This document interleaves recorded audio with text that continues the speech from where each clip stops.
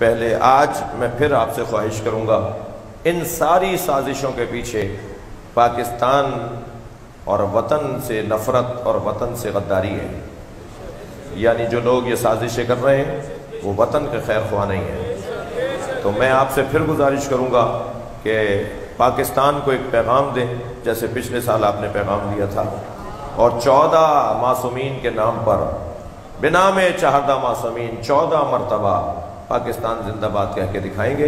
एक पैगाम ये होगा कि हम पाकिस्तान में आज़ादार हैं और हम सांस लेते हैं तो दुनिया सांस लेती है।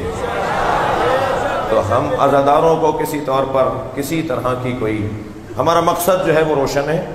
हमारा कोई और मकसद नहीं है सिवाय हुसैन पे रोने के। हमारा कोई और मतलब नहीं है सिवाय जहल बैत की अजमत और फ़जाइल को पढ़ने और सुनने के। लिहाजा मैं गुजारिश करूँगा कि चंद जवान यहाँ से नारा लगाएँ और आप जवाब दें। और पैगाम है ये, और बाकायदा मौकफ़ का इजहार हम कल की नशस्तों के बाद करेंगे।